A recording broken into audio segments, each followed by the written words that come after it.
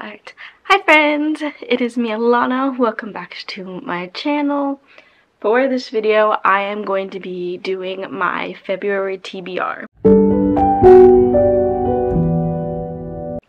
So normally I would do my TBR jar, um, but for this month I actually just decided to kind of um, finish up my winter TBR because I've actually been doing really good with that. And also uh, just pick up some books that I've been like feeling like reading if that makes sense. We're kind of I guess mood reading a bit in this in this month. The first book I would like to read in February is Declarations of the Rights of the Magicians by H.G. Parry. This is a book Sel has been raving about to me for forever, and so I want to go ahead and give it a try. I have the audiobook, so I'm definitely going to be reading it that way because this is a chunker. Uh, but this was also on my Winter TBR as I think of a book a friend has loved or no it was a book published in 2020 and so this is a book that was published in 2020 I guess that's when it came out so this is I figured it would be a good pick for this so I'm definitely gonna try and give this a good old uh, read through and see how I feel. I'm really hoping I like it because Sel loved it and typically we kind of have the same opinions on books sometimes, especially fantasy books. So I'm definitely intrigued to see what I feel. The next book I have is going to be my buzzword book for February.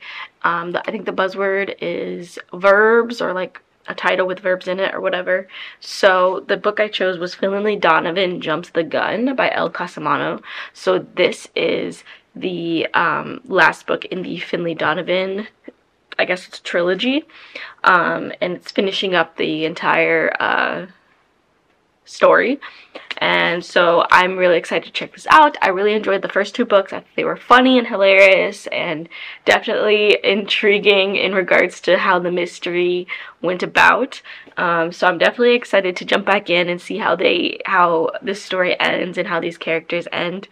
Um, I'm really excited to see the the team of her and her nanny again because they're such a funny dynamic duo. Um, and I'm really really excited. So I also got the audiobook rubbed, uh, ready to go for this as well. So definitely hoping I love it like I did the other two. Next um, I have Soul Eater volume 1 this was on my winter TBR as like read a manga. And so technically I was going to try and read this last month but uh, I couldn't find my first volume for a bit, um, and I finally found it actually at the end of the month, so I figured this would be a good time to pull it out and give it a good old try. These are the special, like I think these are the the special editions, like the anniversary editions they've come out with. Um, and I really loved the anime when I watched it like years and years ago, so I definitely want to get back into the manga and just see how it ends, because I never actually, I think, got to the end of the series, so... Next, I have Marked by PC and Kristin Cast. This is the first book in the House of Night series. This is actually a bind-up of the first two books, um, but I'm only going to be doing the first book. Me and Sel decided that we wanted to binge read and buddy read the entire series this year, and there's 12 books, so 12 books, 12 months in the year, and we figured it would be a, a fun time to give it a try and see what happens. The amount of times I've tried to restart this series and I've failed have been astronomical. So, I think this is going to be my final try to see if I can really get into this series or not. I, to be honest, I've already started book one, and the audiobook is not that long, so I'm, I'm sure I'm going to get through this really, really quick. But I'm really hyped for it. So, um, this follows a girl who lives in a world where vampires exist, but it's not like the sparkly kind of vampires. It's the kind where um, you basically like get sick and then you get marked with something like a mark on your forehead, some type of symbol. And so when that happens, you have like a like a certain amount of time to get to a vampire school where they like train you to be a vampire, um, or you die. And so um, the catch is though that like you could still die in the process as you're becoming and transforming into a vampire. Um, but they're hoping they hope that like if you go through the training it'll prevent that or whatever. But so it follows this girl um, zoe who like hates her family because her mom remarried this big time conservative jerk. And then she's um, dealing with like boy issues and then she gets marked. So she has to go to this school and kind of readjust her whole life and figure out how she's going to survive as a vampire now. And she meets like a whole squad of friends to help her through it. And that's just kind of all i remember. And it's very I, I, will say i was i first tried to start reading this when i was like 12 this series is probably not for like anybody under like 15 i will just say that because uh it's very like there are some sexual elements in it but it's just very kind of different it's not twilight so i'll give you that but i'm definitely intrigued to, uh, to like start this over and see how i feel because I mean, the series lasted so long, so someone must have thought it was good for a reason. So I'm definitely gonna it, give it a try. I don't know if I should vlog it or not because I just don't know. But maybe I will, maybe I won't. I haven't decided yet. So then the next book I want to try is Beasts of Ruin by Ayana Gray. Um, I believe this is a winter TBR pick that I pulled. I think. I don't remember. But I'm trying to be better about sequels, so I definitely want to uh, pick this up. I meant to read it last year, and then I didn't, so I definitely want to go ahead and try and read it this year and see if I like it, because I really like the first book, so I want to see how the second book goes. I think, I can't remember if this is the last book in the, if this is a duology, or if it's going to be a trilogy or whatever, but I at least want to just catch up, I guess the next two books I want to read. So I started rereading Legendborn last year and it didn't go badly. The problem was I was listening to the audio because I was like, oh, let me try that. And to be honest, the audio was kind of tough because the, the southern accents are really throwing me off and they're like kind of terrible. So I might just have to pick this up physically and reread it. So once I do that, because I need, I definitely think I need a refresher on everything that happened, um, my goal is to read Bookmark, Bloodmarked, because, uh, I've had this for a few months now and I have not read it and I need to read it before somebody spoils it because I sense that's going to probably happen at some point. So I want to go ahead and, and get to it and see what happens next. I think I'm just nervous because I loved the first one so much that I'm like, if this one does not live up to the expectations, I'm gonna be definitely disappointed. So I think that's my issue. then the next book I have is The Midnight Bargain by C.L. Polk. This is definitely a winter TBR pick that I picked up. I can't remember what prompt it was for, but I'm really excited. Um, this cover is so gorgeous. I've been, I think I bought this like a year ago, so I've been really meaning to get to it. And I think Sel read this and enjoyed it, so that kind of gave me a little bit more confidence in the story. But to be honest, I don't remember what this is necessarily about. I think it's a historical fantasy, so we're just gonna go with that and hope for the best.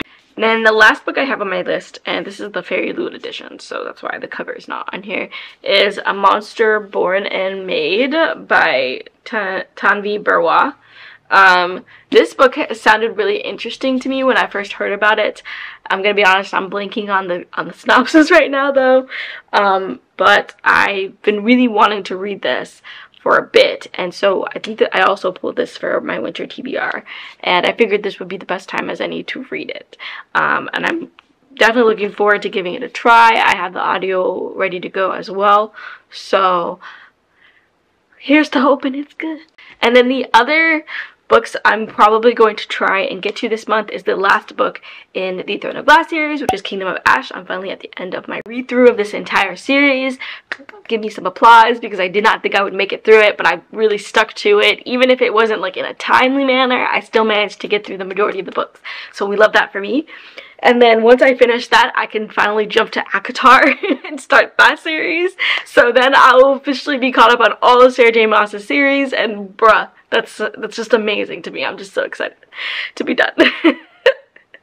and then the other thing that I'm going to probably be reading through is so December of last year Monet and Sel convinced me to read The Last Magician by Lisa Maxwell.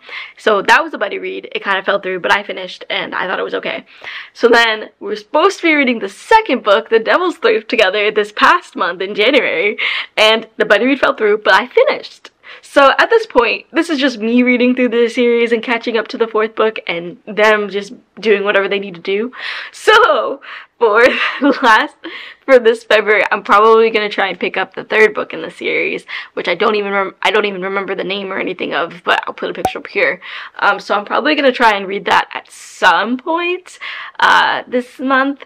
I already finished book two this month, so I'm trying to decide if I like want to give it a little bit of time and then start book three maybe like at the end of this month or something but that's just on my radar of potential um, read-throughs that I'm gonna do so that is my February TBR. Um, thank you all for being patient with me as I've gone through this weird hiatus. I'm working on it, okay? I'm trying to come up with some semblance of balance of working and doing other things while also making some time for this. Also, my room is going through a remodel, so I it's just kind of a mess and my brain is just chaotic all the time. So, we're just working on it. We're working on it, okay? So I'm uh, excited to be reading these books. I'm excited to hopefully be posting some videos again. I'm going to say I do have some end of year videos that I'm going to be posting soon. I have them filmed and ready to go. I just got to edit them and they're really long to edit. So that's where my struggle is right now is just finding the time to sit down and go through it. Also the motivation to sit down and go through it. So we're working on it. If you like the video, hit the thumbs up button. If you have any comments, questions, concerns, leave those in the comment section before me. Let me know what books you're going to be trying to read in February.